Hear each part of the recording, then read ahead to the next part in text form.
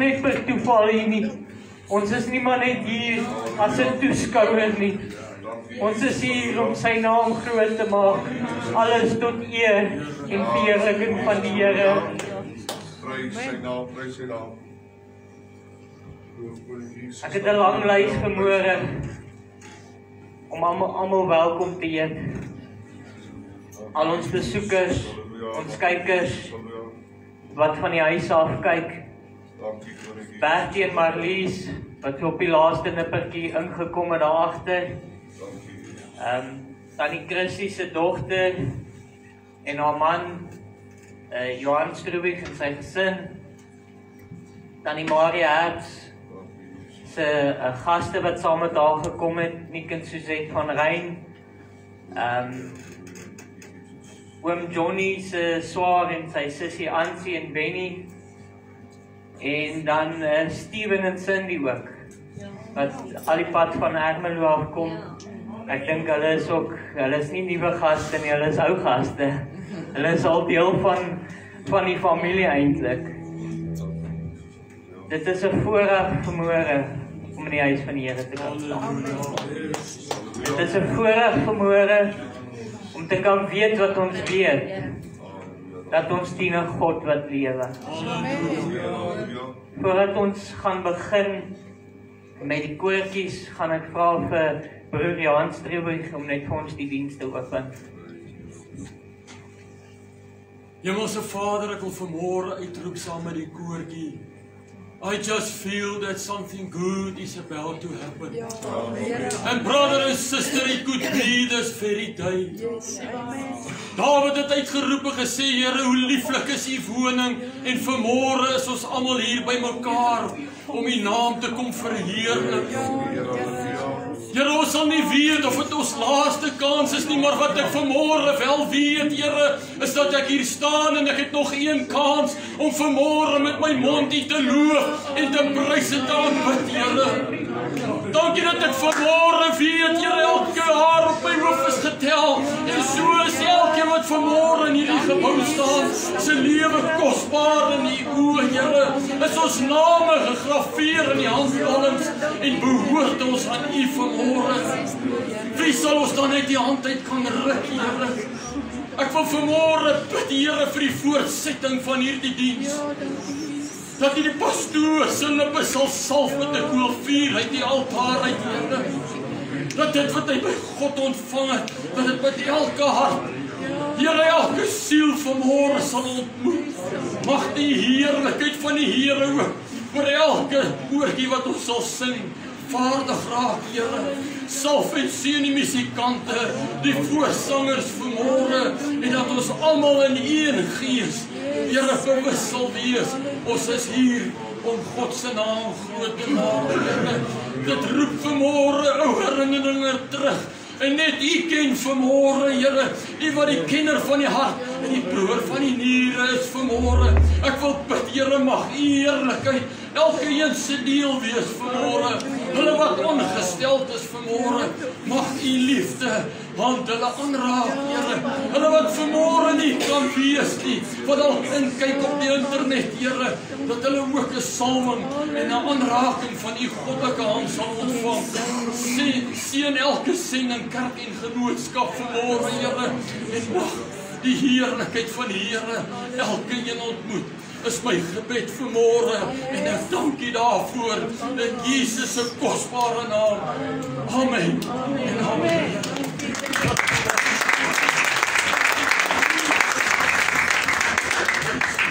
Voor ons eerste koortjie sing, kan ons ook nie vergeet nie ons moet net vir hom Sarah en tannie Francis welkom terug sê. Ehm um, ek dink pastoor moet hulle eintlik van vooraf voorstel hier by die gemeente, hulle was so lank weg. Kom ons sing lekker saam to see the sea walker. See the sea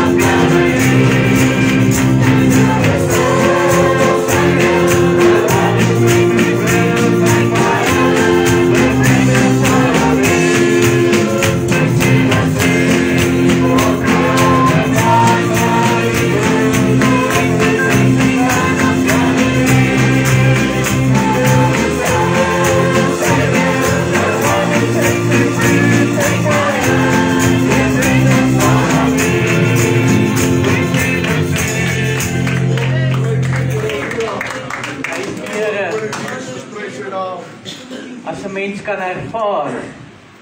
'n Mens kan voel dat hy hier is. Ons kan sien wat hy doen. Dan kan ons sing kom ons loof die Here. Yes.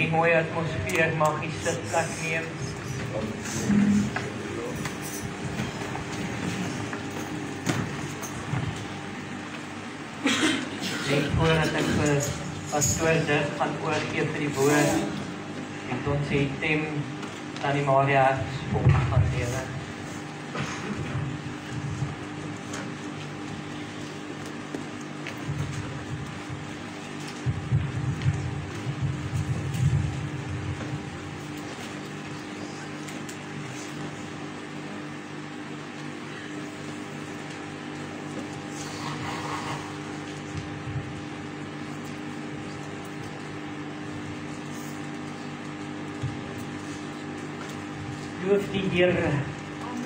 Bly om in die huis van die Here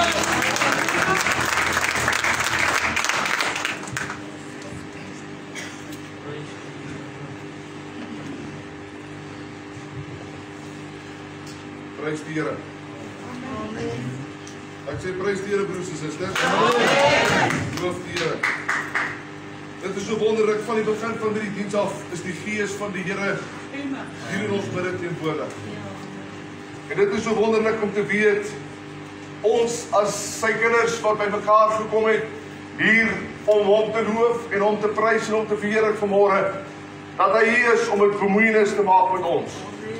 Dat hy hier is om deur die krag van sy Heilige Gees vir ons iets vanmôre te kom gee vir elkeen van ons vanmôre. Is hy hier om ons vanmôre te bedien. Ek vra julle om julle Bybels oop te maak in Matteus 5. Matteus die 5de hoofstuk. Ek wil met u praat oor 'n daaglikse saak, iets wat ons elke dag mee te doen het. Wat ons baie sien veral in die tyd wat ons in lewe in die afgelope paar jare ook in Suid-Afrika. Ek lees daar vanaf vers 43, Matteus 5 vers 43.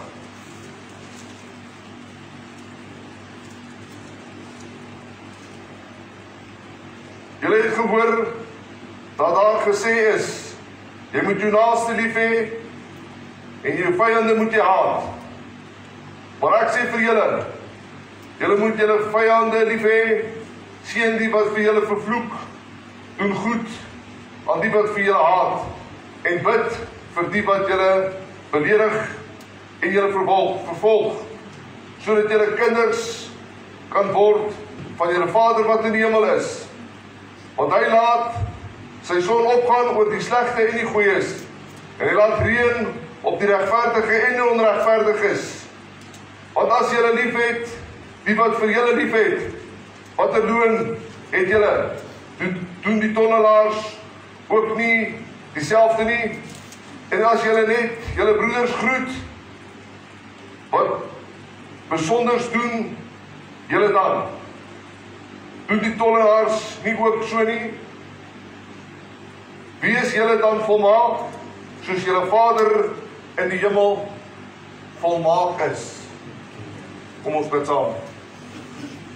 Almagtige God en Vader, ek sê vir U dankie dat ek vanmôre hierdie kans en geleentheid het om U geopende woord voor my te kan hê vanmôre. Sê vir U dankie Here dat ons weet ons is hier by mekaar Here om uit die woord te leer om dit te ontvang Here wat die Heilige Gees voortgegee gaan word. En ek bid vanmôre Here dat U my sal gebruik Here as 'n instrument in die hand nie uit myself nie, maar alles tot eer en tot verheerliking van U naam bid vanmôre dat U die doel sal bereik in hierdie diens deur die woord my Vader dat die Heilige Gees Here hierdie woord sal dra in die harte van elkeen wat hier so is. En ek bid Here salf my lippe met die kolfie van die altaar draag my aan Here dat ek sal spreek dit wat U wil hê ek moet spreek vanmôre. Nie uit verdienste nie maar alleen in Jesus Christus naam sê vir baie dankie daarvoor. Amen en amen. Ons lewe in 'n tyd van haat en nait. Die een gun die ander niks nie en die een gun nie dat die son moet skyn oor die hoof van die ander een nie. En dit is baie baie moeilik vir kinders van die Here om in hierdie tyd te lewe. As jy nie toelaat dat jy die, die gees van God gelei word nie. En ek wil vir julle sê vanmôre, daar is so baie mense wat rondgaan en omgaan in hulle harte en dit wat die woord sê wat in die hart is, dit kom uit die mond uit. En baie mense spreek soveel haat en hulle bedink soveel haat en hulle doen soveel haat teenoor hulle medemens dat hulle besef nie eers meer waarmee hulle besig is nie. Dit het vir hulle 'n tweede natuur geword. Hulle gee nie om wat hulle sê teenoor 'n ander mens of teenoor 'n medemens nie. Dit het vir hulle 'n daaglikse manier geword hoe om te lewe. Want dit is wat hulle sien uit die regering uit. Hulle sien dit rondom hulle gebeur. Hulle sien pertinente groot mense in hierdie wêreld wat maak net wat hulle wil en sê net wat hulle wil en ander mense seermaak en ander mense in hulle harte seermaak. En ons het gelees hier in die woord wat hy sê in vers 1, hy sê vers 43 wat ek gelees het. En julle hoor gehoor dat daar gesê is dat jy moet jou naaste lief hê en jy moet jou vyande haat. Dit is die manier van die wêreld. Jy sal net goed doen aan die wat goed doen vir jou en jy sal net lief hê vir die wat jou lief het. En maar is Is dit hoe dit eintlik moet wees, broers en susters? Dis nie hoe dit werk nie. Wat is jy vanmôre beter as enige ander mens in die lewe? Ons is almal van die woord van God sê ons is maar net 'n asemteug. Ons is maar net 'n stofdeeltjie. Maar daar's 'n almagtige God in die hemel wat neerkyk op die aarde, wat bewus is van jou, wat weet van jou vandag. En as ons ons liedjie wat ons sing, hy sê maar elke oogie en elke woordjie wat jy sê en elke daadjie wat jy doen, God weet daarvan.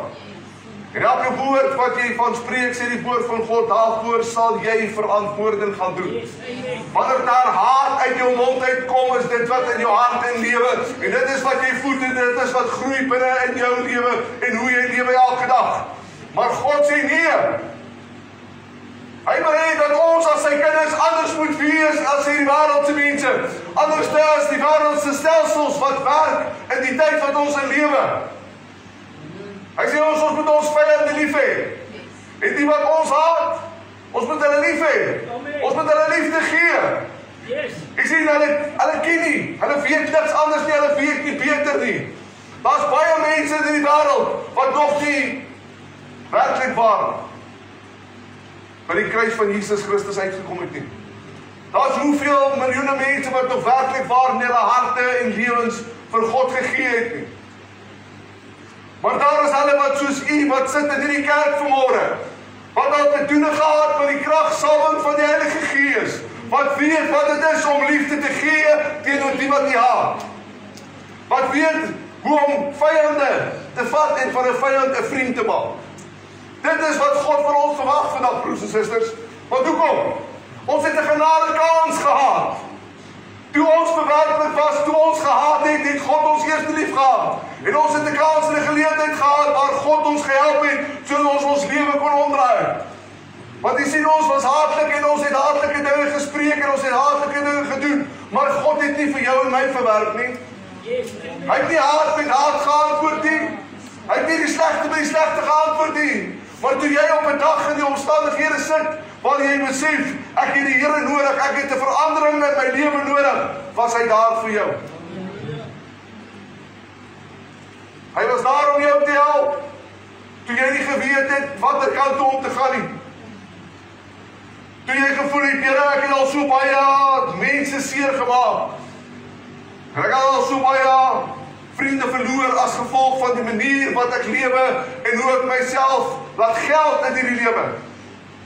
En hy was daar om jou te help om jou lewe te verander, om 'n beter lewe te begin lei in Jesus Christus deur die krag van die Heilige Gees wat hy vir ons gegee het. Want daar saam met ons is elke dag om ons lewens te verander, om ons te help dat ons kragtige instrumente in die hand van die Here kan word. Jy sien hierdie saak van haat begin gewoonlik by die naaste aan jou. Dit begin gewoonlik in jou familie. Dit begin gewoonlik by jou vriende. Hulle wat jou seermaak. Maar weet jy waar is die plek waar dit die meeste gebeur? Is reg hier binne die huis van God. Ja, amen. Reg hierso binne binne in die huis van God hier waar ek en u veronderstel is om mekaar lief te hê. Hier waar ons veronderstel is om nie mekaar te haat nie om nie mekaar se ondergang te soek nie, om mekaar eintlik soos die woord van God sê, vorentoe te stoot. Ons moet mekaar ophef. Maar ons laat toe. Ons as die kerk van Jesus Christus, laat toe dat die vyand ons gebruik om ons eie medebroers en susters, ons eie pelgrimreisigers, hulle wat saam met ons in die banke sit, om hulle af te kraak, om 'n haatvrog teenoor hulle te begin hier binne in ons binneste. Want hoe kom? Hy wil nie maak soos wat ek sê nie. Hy wil nie doen soos wat ek doen nie. Die woord van God sê hy laat sy son opkom oor goeie mense. Amen. En oor slegte mense. En ek wil die vraag vra vanmôre en ek is bietjie reguit vanmôre. Wie is jy? Ek wil dit weer sê, wie is jy om te bepaal wie is goed en sleg? Amen. Het God jou nie toe jy sleg was? jou gered en gehelp en jou goed gemaak nie. En jou verbeter sodat jy na beterskap kan kom in jou lewe. Sodat jy kan besef, Here, ek het 'n genade kans nodig vanmôre. Ek het nie nodig in my lewe want ek kan nie so aangaan soos wat ek aangaan nie. Wat 'n besef gekom by jou dat jy is op 'n pad wat jou lei na moeilikheid. En ek wil vir julle sê vanmôre, God is almagtig vanmôre om elkeen van ons te help. Daar is al hoeveel honderde duisende mense in kerke seer gekry. Ja. In kerke seer gekry omdat broers en susters nie hulle monde kan hou nie. Dis die waarheid. Omdat jy jaloers is oor 'n broer of oor 'n suster vir wat God vir hom of haar gegee het. En jou manier van optrede het daardie persoon seer gemaak. Het daardie persoon weggedryf van die eenheid waar hy gedink het hy sou beskermd gewees het. Van 'n eenheid waar hy gedink het hy gaan liefde kry, maar toe kry hy haat. Toe kry hy omstandighede wat hom seermaak. Ek wil vir julle sê ons is vanmôre hierso in die huis van God. En as ons die wêreldse mense sê ek noem 'n ek noem 'n graaf vir graaf, nee. Dit is hoe dit is. En dit is vanmôre tyd dat die kinders van die Here ook sal begin besef dat dit wat is, die waarheid is, is die waarheid. Want die woord van God sê die waarheid sal jou vrymaak. As jy nie na hierdie huis van God kom met liefde teenoor jou broer en jou suster nie, Die woord van God verwag van jou. Al het hy 'n skewe woord van jou gesê om liefde te gee. Om te vergewe. Om vry te spreek. Dit is wat die woord van God van elkeen van ons verwag. Daar is soveel baie dinge wat gebeur. Die woord van God sê al doen hulle wat aan jou, gaan doen jy die teenoorgestelde wat hy aan jou gedoen het om jou seer te maak. Die woord van God noem dit jy werk vurige kole op sy hoof. Want daar sal 'n dag aanbreek. Daar sal gewisse dag aanbreek wanneer daardie persoon gaan besef dit wat hy gedoen het en hoe hy opgetree het was nie hoe hy veronderstel is om op te tree en veronderstel was om te doen nie. Ek wil vir julle sê vanmôre ons lewe in 'n baie kort tyd. 'n Baie kort tyd. Ek kan nie 'n tyd of 'n datum daar koppel voordat Jesus Christus se wegraping, die wegneem van sy kerk gaan plaasvind op hierdie aarde nie. En ek wil vir u vra vanmôre, hoeveel mense op jou pad wat jy gewandel het in die kerk, buite die kerk, met jou familie, met jou vriende, met die geliefdes met wie jy omgaan gehad het, hoeveel mense het jy al seer gekry? Hoeveel mense het jy al seer gemaak? Hoeveel mense het jy al gesien het seer gekry? Hoeveel keer het jy met jou broer of jou suster wat daardie mense seer gemaak het, het jy met hulle gaan praat en hulle gesê, soos wat die woord van God vir ons verwag om te vermaan, het jy daardie broer of suster vermaan? Hoeveel van daardie sake draai jy van kennis? Draai jy kennis van weet jy van? Maar jy's op die agtervoet. Jy is nie bereid om vir daardie man in die gesig te gaan kyk en sê ek wil net vir jou sê, dit wat jy gedoen het was nie reg nie hoor. Mag God jou help. Ek wil vir sê mag God elkeen van ons help vandag. Mag die Gees van God ons help dat ons kan gaan regmaak, dat ons nog 'n kans en 'n geleentheid het om te gaan regmaak. Want ek wil vir julle sê daar's honderde duisende mense daar buite wat veronderstel is om hier binne te gewees het vandag. Hierdie kerk was veronderstel om vol te wees vandag. Maar soveel mense het seer gekry langs die pad. Hoeveel familielede het jy al seer gemaak deur jou woorde wat jy gespreek het? Wat nie mooi woorde was nie. Woorde wat seer gemaak het, wat gesny het tot diep binne in die hart, wat nog vassit in sy gedagtes, asof dit dit het 10 jaar terug gebeur, maar vir hom is dit asof dit nou net met hom gebeur het. Die woord sê God laat sy son opkom oor regverdiges en onregverdige mense. Weet jy hoekom vanmôre? Dit mag dalk snaaks klink, maar dit is 'n genade kans en nog 'n geleentheid wat God gee. Want vanmôre, net vanmôre het die son weer opgekom. En ek oordeel jou nie, maar ek sê vir u wat die woord van God sê. Die woord van God sê, jou eie woorde sal jou oordeel. Jou manier wat jy gespreek het teenoor ander mense, mense en dit wat jy aan ander mense gedoen het in jou lewenswandel tot en met vandag, dit sal teen jou getuig.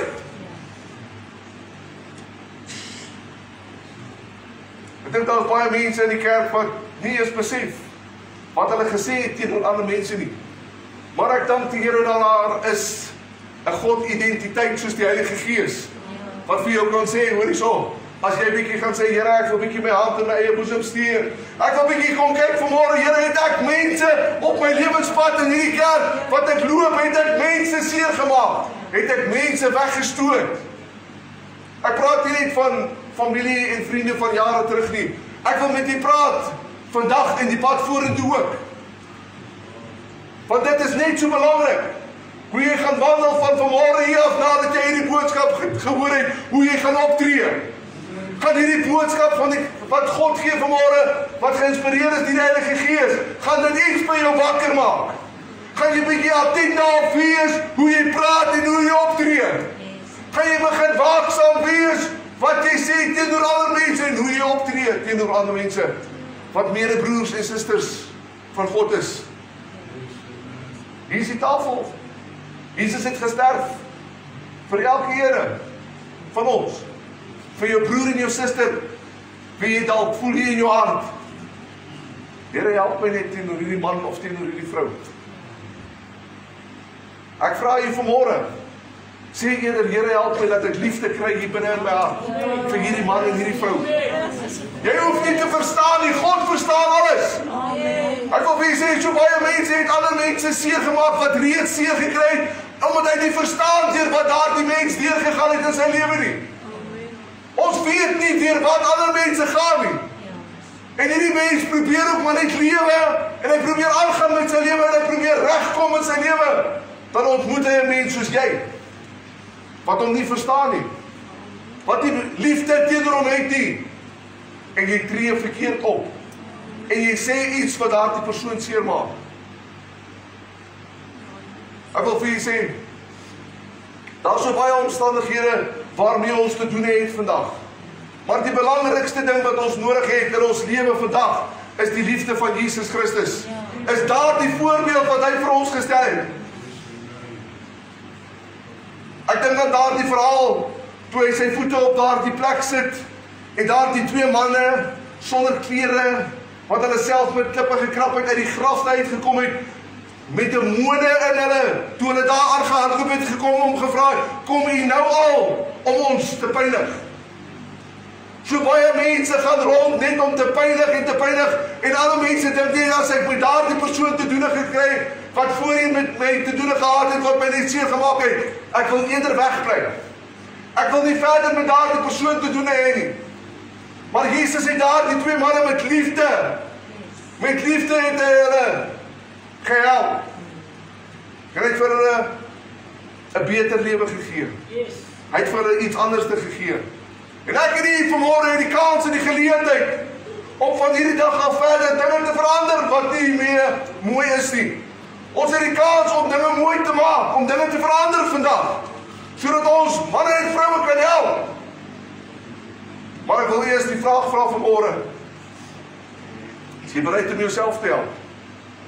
Want weet jy hoekom iemand wat seer het, maak ander seer. Is jy bereid?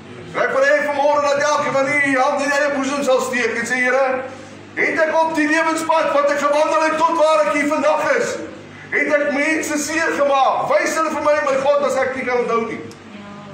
Ek weet elkeen van u wat hier sit vanmôre is mens. Ek is ook 'n mens.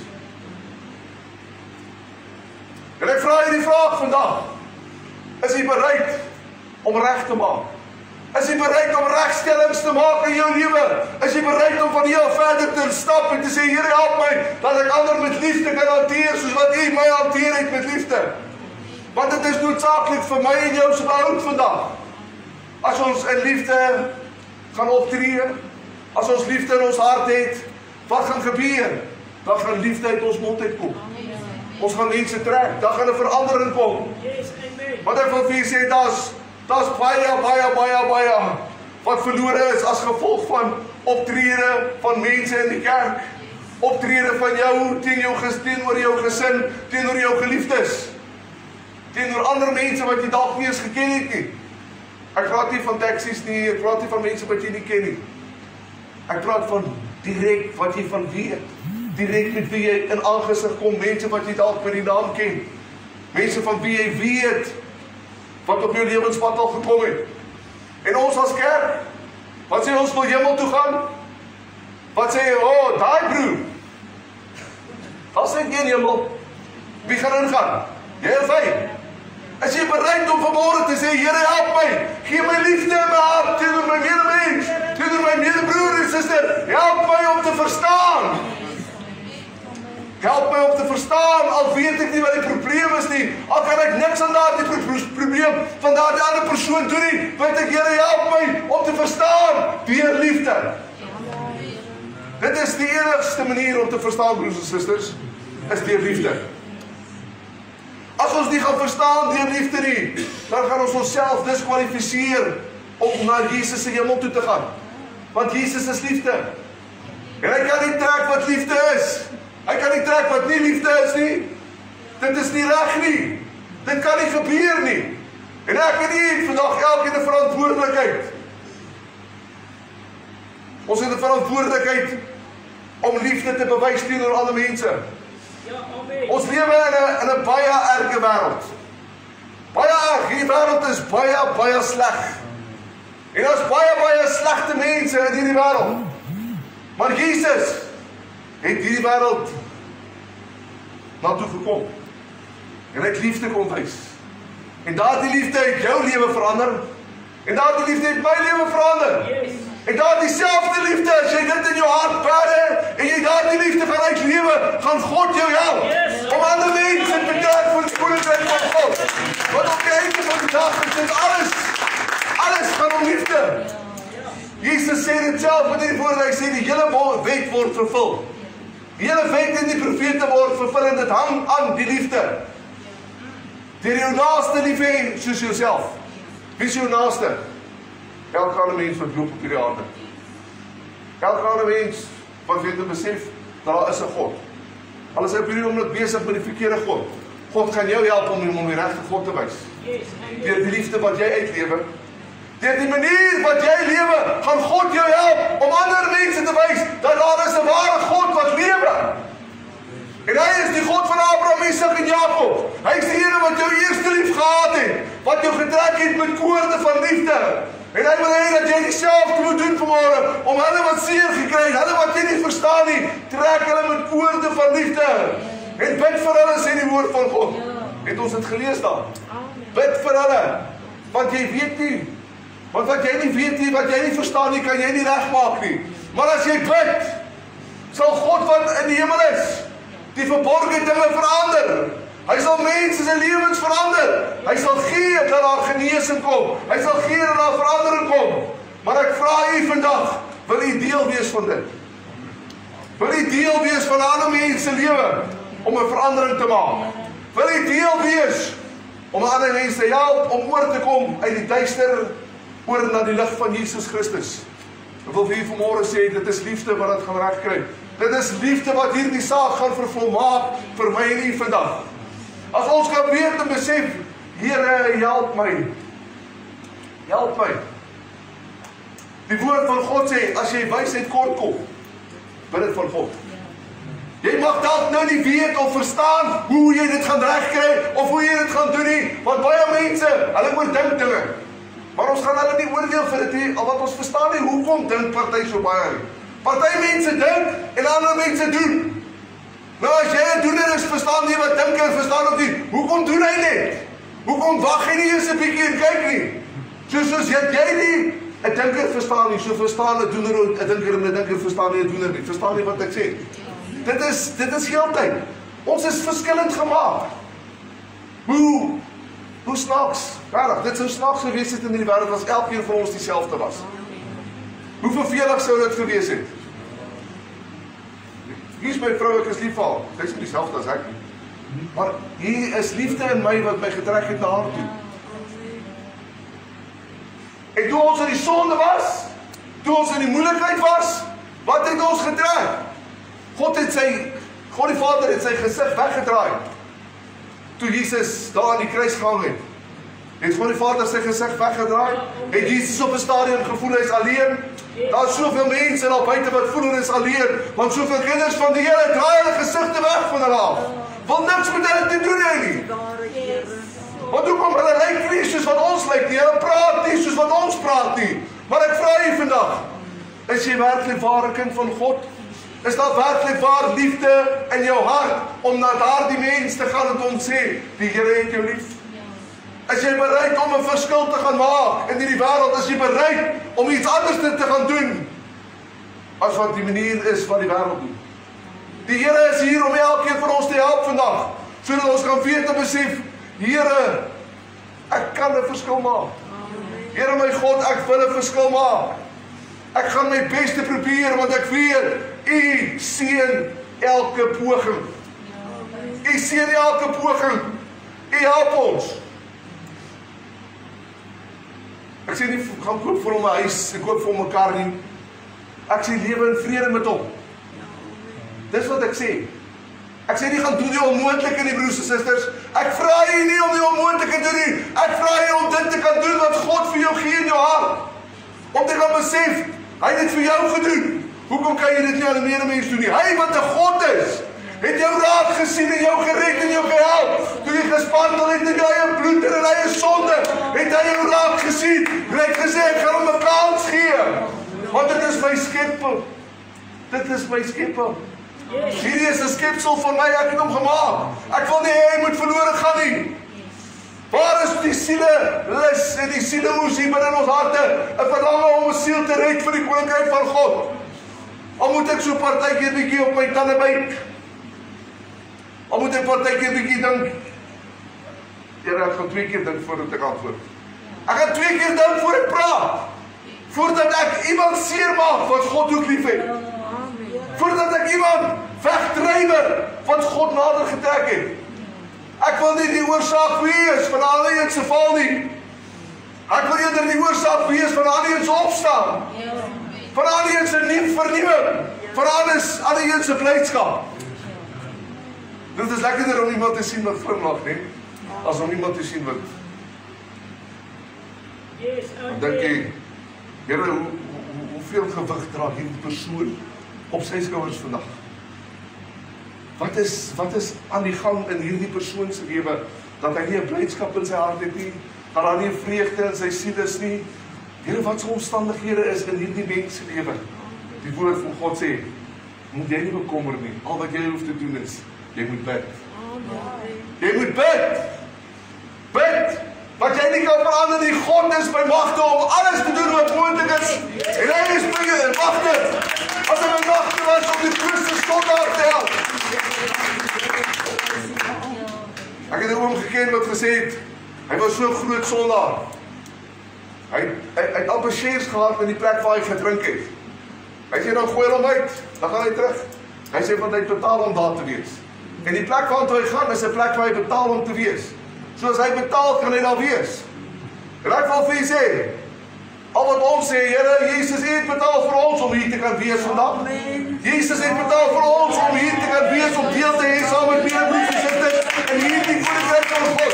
Ons het 'n klein deeltjie van sy koninkryk wat ons vandag hier ervaar. Ek wil nie sê broers en susters, gaan ons uitgaan.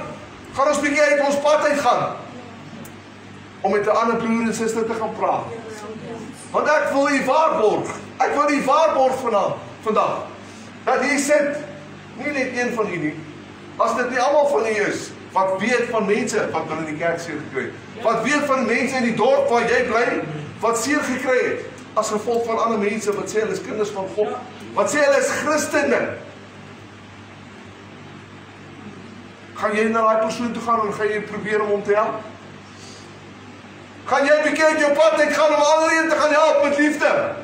Al was dit nie jou oorsaak nie. Jesus het ges, gesterf op die kruis van Golgotha vir die oorsaak van elke sonde. Vir elke siekte en vir elke krankheid.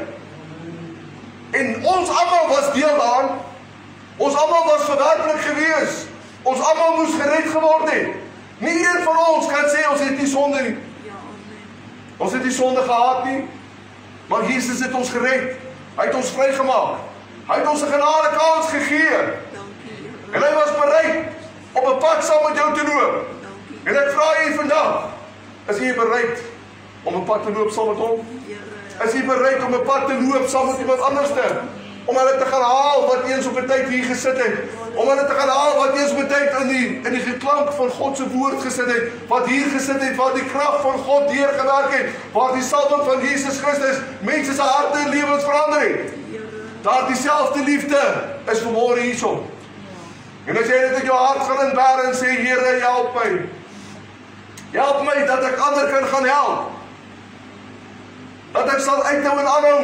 Dat ek nie net sal moet opgee, maar dat ek sal my beste probeer om self ook nie anders seer te maak nie. Maar terwyl ek besig is om dit te doen, dat ek ook sal gaan om hulle te gaan haal wat seer gekry het langs hierdie pad wat ons wandel.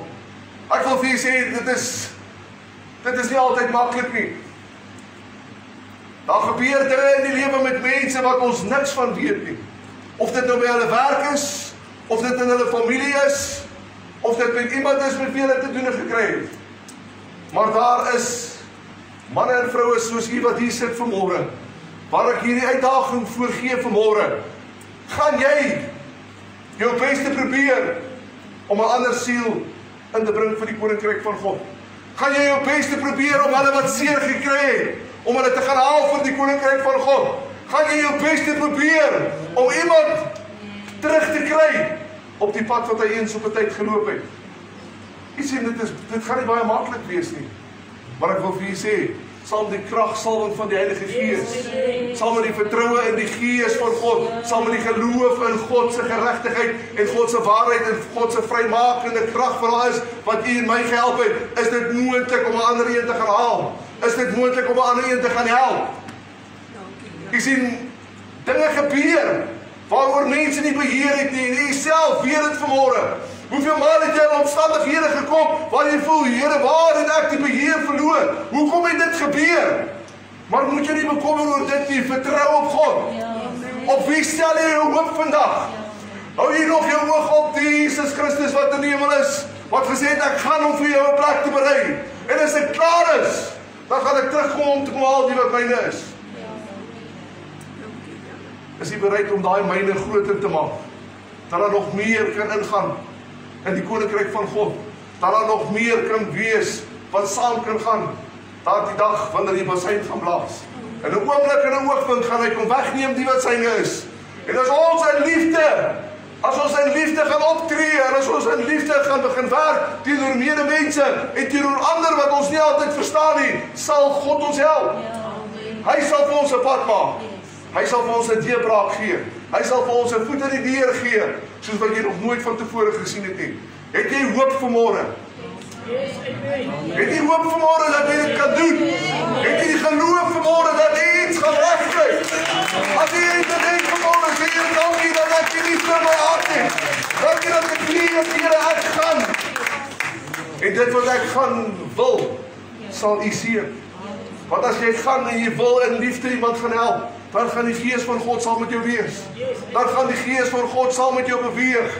En hy gaan vir jou die pad oopmaak. Hy gaan vir jou die die grondgebied voorberei. En ek bid vanmôre dat elkeen van u sal bid voordat jy gaan en dat jy sal sê Here help my, want ek het nodig om iets te doen van my kant af want u het so baie, so baie vir my gedoen. U het my eerste lief gehad. Here dat ek weer 'n liefde sal kry, dat ek 'n ware liefde sal kry vir 'n medebroers en susters. Dat ek 'n ware liefde en 'n hinkering sal kry om 'n man en 'n vrou wat verlore is te gaan haal. Hulle wat seer gekry het, dat ek hulle kan gaan haal en kan inbring vir die koninkryk van die hemele. Die Here seën sy woord vanmôre. En elke toehoorder mag die Heilige Gees u help in hierdie saak. Mag hy julle die krag gee, mag hy jou die wysheid en die insig gee vanmôre om hierdie saak te benader. Want daar is so baie wat moet inkom vir die koninkryk van God. So baie, so baie. Prys die Here. Ons gaan oorgaan na die nagmaaltafel toe.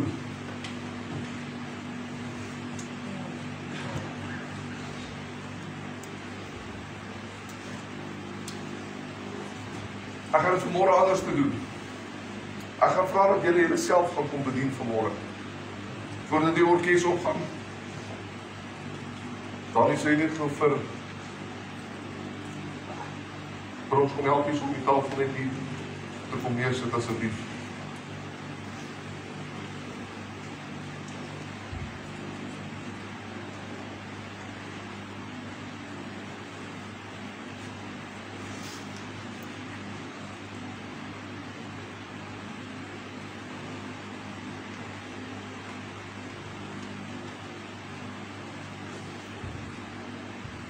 Prys die Here.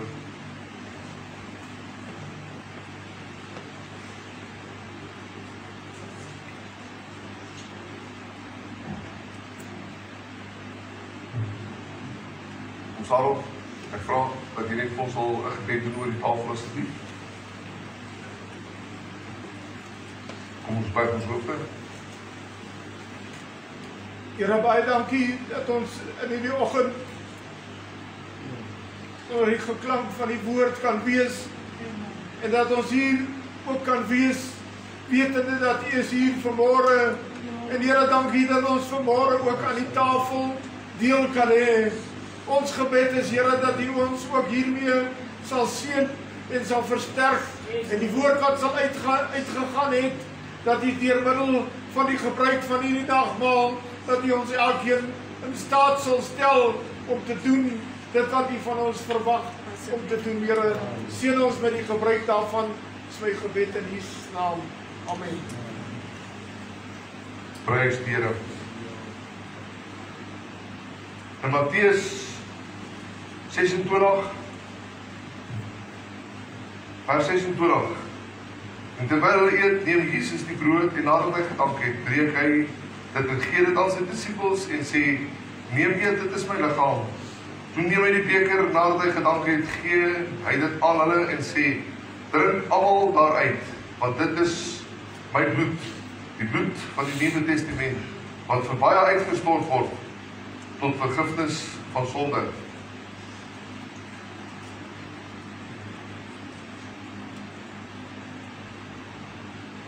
Daardie liggaam van Jesus Christus wat vir elkeen van ons gebreek is.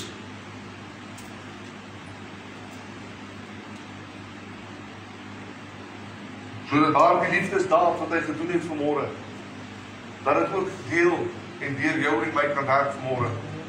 Sodat ons kan deel hê aan hom. Want soos Jesus in Johannes 13 sy disippels se voete gewas het en gesê het as ek dit nie doen nie, dan het jy nie deel aan my nie. En dis dieselfde met die tafel van Jesus Christus. Ons moet deel hê aan sy liggaam wat vir ons gebreek was. Aan sy bloed wat vir ons gestort was. Dit is wat noodsaaklik is vir elkeen van my nie om dit te herdenk vandag. Om te kan sê dankie Here. Dankie vir daardie groot liefdesdaad wat U gedoen het sodat ek gered kan word sodat daar vir my 'n plek in die hemel kan wees, sodat ek kan weet U is besig ook om vir my 'n plek te berei, sodat ek kan gaan daar waar U is. Want elke woord wat hy gespreek het, sal waarheid word. En hy sal trek die wat hy in hom toe trek met liefde. En as U toelaat dat liefde in U hart en lewe is, dan gaan daardie gees van God U trek. En dit sal aanhou om U te trek tot daardie dag wanneer die bassein gaan blaas. En ek vra U vanmôre dat U sal deel hê aan hierdie tafel en dat jy sal weet dat Jesus Christus hy gaan kom vir jou. Hy gaan kom vir my. Yes, amen. Die beker van die Nuwe Testament. Sy bloed. Sy bloed alleen. Ja. Vir elke sonde, vir elke siekte, vir elke krankheid, Yes. sodat daar binne in jou en my lewe liefde kan uitvloei, soos wat daar liefde uit hom uitgevloei het vanmôre. Sodat hy elkeen van ons kan help, sodat hy vir ons elkeen krag gee. Sal die or orkes vir ons vorentoe kom en vir ons kom speel, maar laat hulle eers self kom bedien by die tafel voordat hulle opgaan asseblief.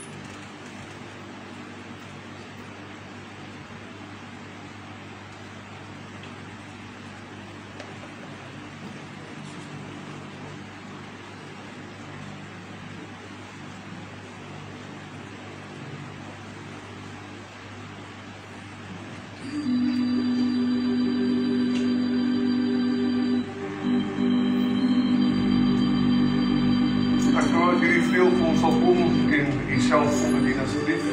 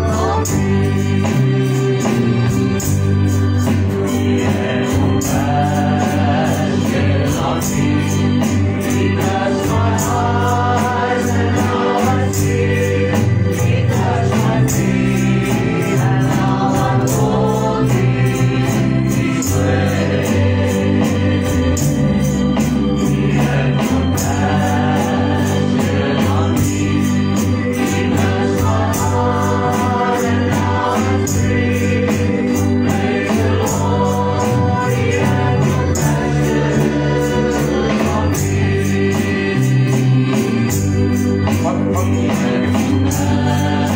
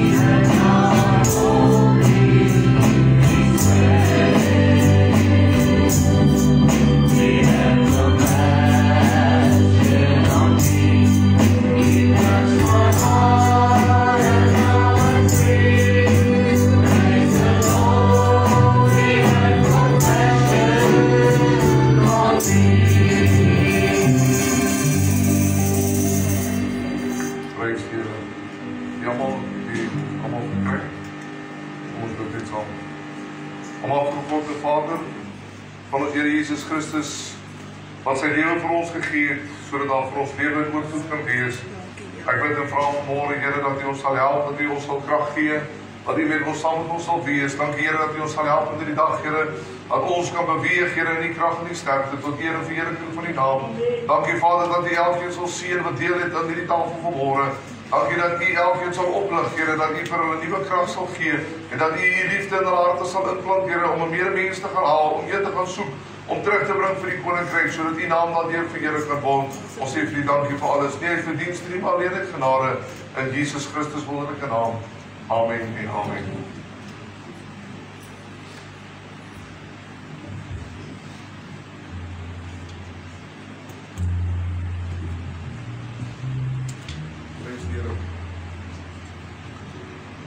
Vra vir Dewald Smith, kom staan net voor ons.